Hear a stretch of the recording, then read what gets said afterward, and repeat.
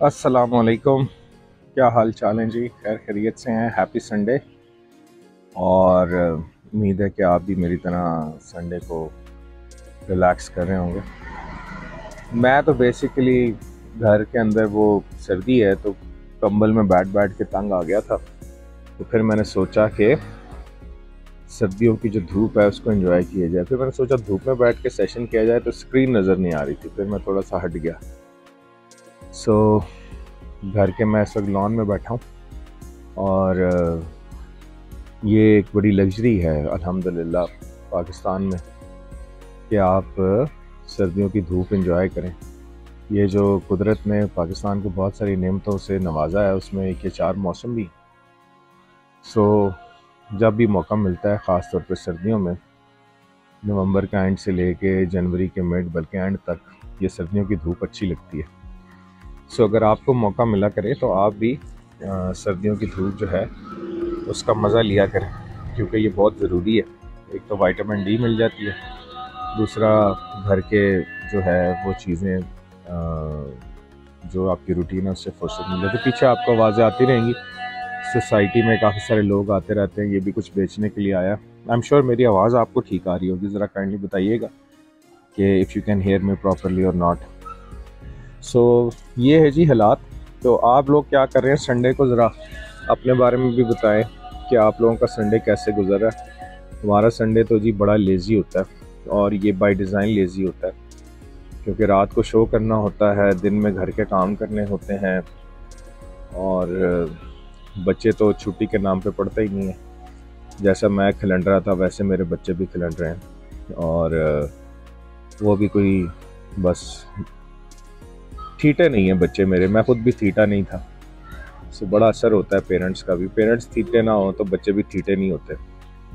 तो ये हालात हैं। अब आप पूछ रहे हो कि थीटा कौन होता है? वो हमारे क्लासरूम में होते थे, दो अदद। वो हर वक्त बेचारे पढ़ते रहते four point o G P A हर चीज़ में आगे टेस्टों में नंबर वन होमवर्क में नंबर वन मास्टरों की नज़रों में नंबर वन सो हम तो हर चीज़ में बैक बेंचर हैं। एक तो कद की वजह से सारे उस्तादों ने पीछे बिठाया। फिर हमें ऐसा पीछे रहने की आदत पड़ी कि हम सारी ज़िंदगी पीछे ही रहे। हमने भी आगे बढ़ने की कोशिश नहीं की। हमने कहा, यार, पीछे ही ठीक है। लेकिन अल्लाह का शुक्र है, धक्के खाते, गिरते, पड़ते ज़माने की ठोकरें खाते हुए, बहुत सारे तजर्बात से गुजरते हुए कहीं ना कहीं पहुँच गए हैं ज़िंदगी में। सो मेरा ख्याल है बच्चे भी पहुँच ही जाएँगे। कहीं ना कहीं इन सो जैसे हम खिलंडरे वैसे हमारे बच्चे भी। सो और चीज़ों में बहुत क्रिएटिव लेकिन जब किताबों की बात आती है तो बिल्कुल ही बुरे नहीं है, माशाल्लाह। आते नंबर दोनों के अच्छे हैं, लेकिन पढ़ते पढ़ते कोई नहीं है। बस, धक्का स्टार्ट ही है। धक्का स्टार्ट नहीं है? धक्का स्टार्ट नहीं कहना चाहिए। क्या कहना चाहिए? इंटेलिजेंट है हार्ड वर्किंग नहीं है। और बेटा तो बिल्कुल मेरी तरह हर चीज़ की जल्दी है। ठीक है जी। ऐसे नज़ीम जनाब किधर पाए जाते हैं? आप उस दिन थे नहीं, मैं गया था किसी काम से। सेंटर में ढूंढते ढूंढते आप मिले नहीं। किधर हैं? कनाडा घूम रहे हैं, पाकिस्तान में हैं। मैंने पूछा था, उन्होंने कहा, नहीं, आप आ गए हैं वापस। शाम को आते हैं। ऑलराउंडर्स एक्सेल दिस मोस्ट जी जी, ऐसे ही है। ऑलराउंडर एक्सेल करते हैं या नहीं करते लेकिन हमें तो अपना पता है। बाकियों का नहीं पता हमें कि बाकी कैसे हैं। तो जी, हम बात कर रहे थे, सर्दियों की धूप की बात कहाँ से कहाँ निकल गई? तो इतवार का दिन है धूप है और मैं धूप से इसलिए छाँव में आया हूँ क्योंकि स्क्रीन नज़र नहीं आ रही थी। तो आप भी धूप सीखें अगर मैसर है तो। और धूप बहुत ज़रूरी होती है और धूप से बहुत सारी चीज़ें मुंसलिक होती हैं। ये मेरे जो पौधे हैं मैं वैसे निकला तो पौधों को पानी देना था लेकिन मुझे एहसास हुआ कि दो दिन पहले बारिश हुई है तो पौधों को भी पानी की ज़रूरत नहीं है।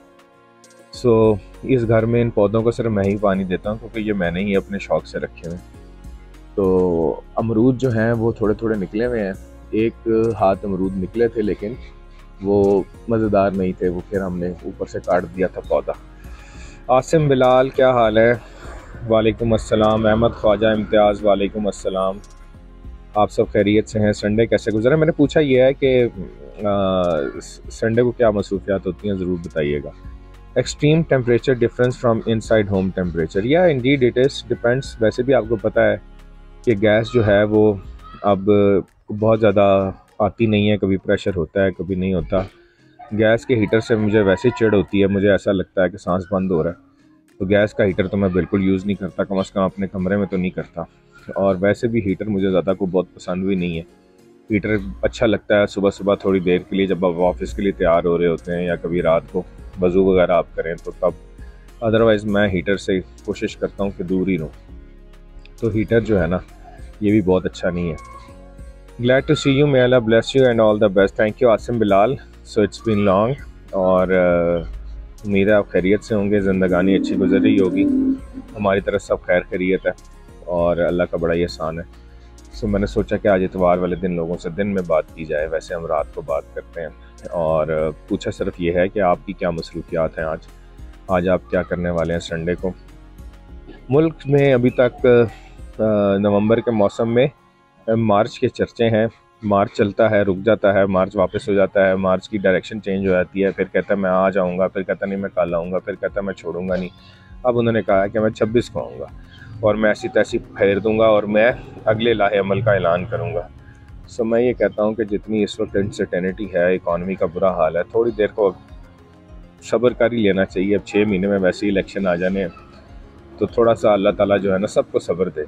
सो ये जो कुर्सी का नशा होता है, ये बड़ा ज़बरदस्त होता है। आपके पास कुर्सी ना हो तो आपको ऐसा ही लगता है कि आप फारग हो गए हैं।